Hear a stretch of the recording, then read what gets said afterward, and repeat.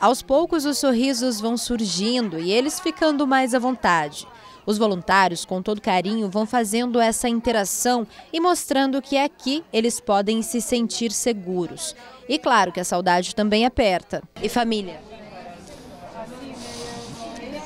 É estranha porque estão em Venezuela. A Cláudia veio com a tia e o filho, Júlio, de um aninho, que mal chegou ao mundo e já enfrenta grandes desafios. E por que escolheste o Brasil? Porque me queda mais cerca e porque minha família já está cá.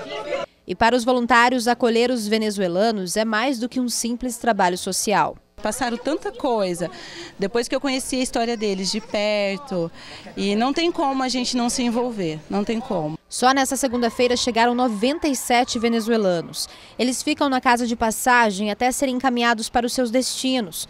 Muitos vêm encontrar familiares, outros emprego, alguns oportunidade. Para eles se vir se habitar dentro do Brasil, eles vão vir através de familiares que já trabalham no local, ou eles vão vir através de emprego, eles já vão vir empregado, ou entidades sociais que vai apadrinhar, que vai cuidar deles, que vai ser o tutor deles. Essas são as três formas deles entrarem para o Brasil. Aqui é apenas um local de passagem, o ideal é que eles permaneçam poucos dias. Mas enquanto isso, tem almoço, janta, lanche, eles também utilizam produtos de higiene pessoal e por isso a ajuda da comunidade faz toda a diferença. Hoje nós precisamos muito de donativos, de proteína, carne, frango, ovo, pão, é, nós precisamos de fralda e materiais de higiene pessoal e os mantimentos básicos que é para eles almoçarem e jantar.